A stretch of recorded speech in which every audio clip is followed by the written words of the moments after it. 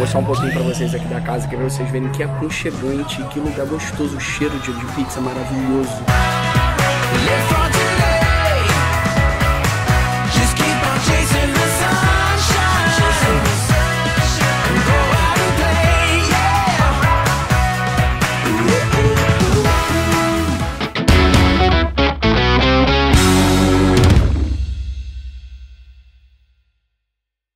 E aí, meus amigos do canal Bom Trocado, eu sou o Rodrigo Morales Eu sou a Anne, e hoje nós estamos aonde?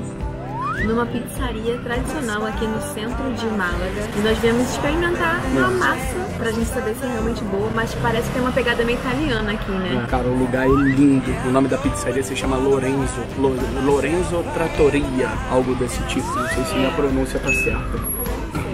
Vou mostrar um pouquinho pra vocês aqui da casa, que pra vocês verem que aconchegante, que lugar gostoso, o cheiro de, de pizza maravilhoso. Conquistou a gente, vamos ver se o sabor vai conquistar a gente também. A Anne aqui já pediu o tintozinho dela de verano e eu, como sou Maria vai com as outras, copiei.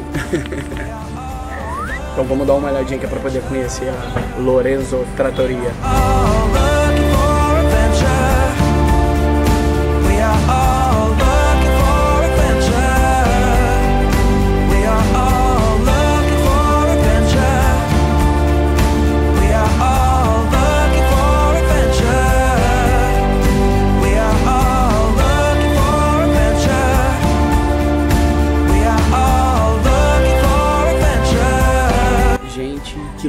Vocês viram aí, né? É uma graça, né? Bem pegada italiana mesmo, retrô, os móveis mais rústicos, as cores também. Gente, o cheiro de massa aqui. Eu acredito que seja tudo fermentado, feito à mão aqui. Parece ser feito na lenha. Vamos ver se eu vou pizza aqui. Sem contar que a gente tá aqui também, a gente pegou um lugarzinho aqui que a gente tá quase na calçada. E a gente tem uma vista maravilhosa pra uma praça aqui, ó, que tem um monumento histórico em homenagem. Tem um monumento histórico ali em homenagem lá a um mártir aqui espanhol, que eu- depois eu tentei que pesquisar melhor saber sobre as- essa história, né? Foram pessoas que deram a vida pra ter o que? Liberdade, né? É. Bem bacana. O, nome- o monumento lá tá escrito lá que não se abre mão da liberdade pra nenhum tirano. Aí tá a homenagem lá pra 48 homens que morreram, 49. 49 homens que morreram e tal, em nome da liberdade. Então é uma história bonita. E a gente tá bem aqui do lado aqui, vamos experimentar uma pizza nesse lugar histórico, bonito, gostoso, cheiroso. Vamos comparar, será que a pizza aqui da Europa é tão gostosa quanto as pizzas do Brasil? Porque a gente está acostumado a comer pizza no Brasil muito gostosa. É. Inclusive tem até vídeo no canal que a gente foi numa Madjama, a gente experimentou pizzas, tem pizzas tradicionais lá perto de casa também. E todas são muito gostosas. Agora da Europa a gente ainda só comeu a Domino's, né? É, eu tô esperando algo tipo Mama Jama aqui. Será que vai ser aquela massa fininha, tipo, Rústica, quebra? é. Eu prefiro uma massa mais cheinha, sabia? Prefere? Eu prefiro. Comenta aí o que vocês preferem, massa fina ou massa gordinha? Eu prefiro massa gordinha. And I'm living free, living free, living free, and I was meant to be. Living free, living free, living free, and I was meant to be. I'm living free, living free, living free, and I was meant to be free. Meant to be free.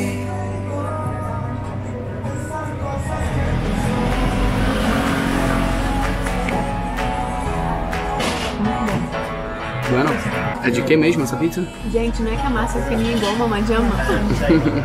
Eu gosto, prefiro a mais cheinha, mas é muito gostosa. Dá pra identificar que o molho é caseiro, dá pra sentir a acidez do tomate. É com queijo mussarela, queijo gorgonzola, tem ramon e também tem esses cogumelos tostadinhos aqui, ó. Tá vendo? Vai dar uma crocância na pizza. So Bem defumado. É, Bem defumado. verdade, bem defumada. Eu acho que é o Ramon que dá esse gostinho defumado. E esse queijo gorgonzola, queijo gorgonzola é uma apelação.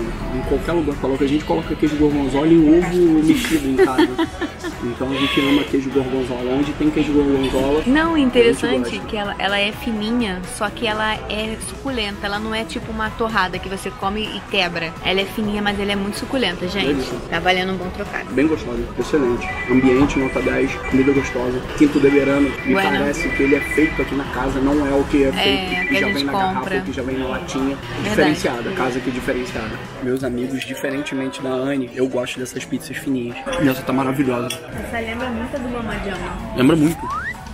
Jama tem essa pegada assim, de ter a pizza ser a massa mais fina. Apesar de você poder escolher o tipo de massa. Mas tradicionalmente eles vendem a massa mais fininha. E aqui é do mesmo jeito. Mas assim, ela é fina na ponta, crocante, mas no meio, apesar de ser fina, ela é suculenta. Isso eu achei bem interessante. Bem gostoso. A única coisa que complica de pizza fina pra mim é que eu sou meio ignorante pra poder comer. Então quando eu vou cortar, eu fico arranhando o prato, porque ela é muito fina. Quando a pizza é um pouquinho mais grossa, ela tem como você cortar e descer nela. Agora quando ela é fina, você chega no prato, você faz... Aí todo mundo olha pra tu, no restaurante. Isso é porque ele é raiz, porque se ele fosse raiz mesmo, ele comia com a mão. Verdade, hein?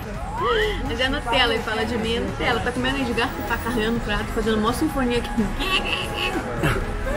Verdade, por que, que eu tô comendo de garfo e faca? Acabou, vou comer com a mão. Chega de garfo e faca. Alá Brasil. Acabou. É outro sabor, né? No Brasil a gente come assim, né? Ou a gente pede a francesa, que o Rodrigo gravou também, que é boa furada, né? Foi onde que a gente gravou? Não sei, eu sei que... Ah, Foi no shopping Via Brasil, lá no Brasil. Óbvio, né? Via destrói a Brasil. pizza, porque cada um vai comer um pedaço quando termina. Parece que explodiram uma bomba no meio da pizza. Ficou horrível. E assim ela fica mais suculenta, né, Rodrigo? E você não incomoda as pessoas do lado arranhando o prato. Olha que maravilha. Todo mundo Faz ama. assim, ó.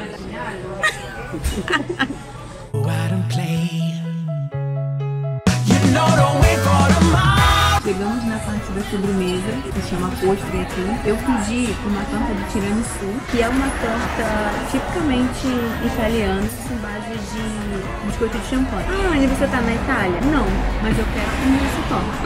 E o Rodrigo pediu uma torta de com chocolate, que é a especialidade aqui da Casa Lourenço. É uma torta de chocolate misturada com doce de leite e vem um cremezinho pra poder tirar um pouco o excesso de doce. Olha que top, gente. Bonito, hein? Será que tá bom? Só dá pra saber de um jeito, hein? Então vai lá, faça as honras. Isso mesmo. Massinha. O creme é azedinho e tem um gosto de café. Hum, Bem gostoso. bom. Quer que eu experimente a sua? Pode ser, pode ir.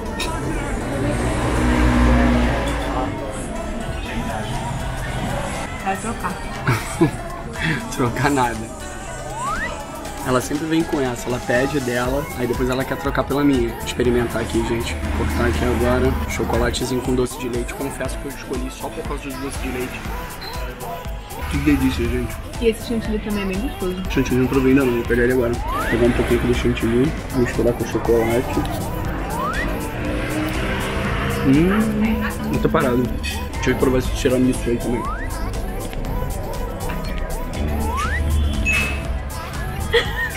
Ele é bom. Não é doce. Mas eu prefiro a minha torta. Também. Não, vou tirar a mão daí. Tem que dividir. Olha aqui, gente. Olha isso aqui.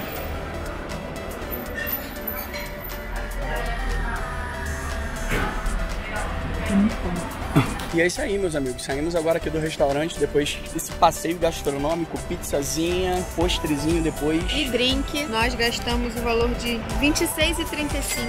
Nós gastamos. E aí vocês convertem aí, ver se realmente vale um bom trocado ou não. Mas pra quem ganha em euros, gente, vocês sentar num lugar, comer, pedir sobremesa, pedir drink e pagar R$26,35, eu acho muito top, né? É, eu acho que até em real vale a pena, porque seria um pouquinho mais do que 100 reais aí. Acho que tá dentro. E olha onde a gente tá. Esse restaurante é em frente a essa praça aqui, ó, que é a Praça Las Mercedes. Então a gente tá num lugar muito top, do lado do centro histórico de Málaga. Aqui tem até ali, ó, esquina La Mercedes. Aqui tem o obelisco aqui, que é o monumento que eu falei pra vocês, que era em homenagem lá aos mortos da galera que resistiu lá, que não topou um tirano aqui na Espanha. Não sei muito bem da história não, mas esse monumento é pra isso daí. Se alguém quiser pesquisar aí, pesquisa no, no Google aí, monumento na Praça de Las Mercedes, e que vocês devem encontrar algo aí pra poder explicar pra vocês. Então eu espero que vocês tenham gostado aí de ter passado essa tardezinha aí conosco aí, comendo uma pizza, batendo um É. papo. E agora a gente precisa correr, porque se a gente perder o ônibus de 11 horas, só amanhã.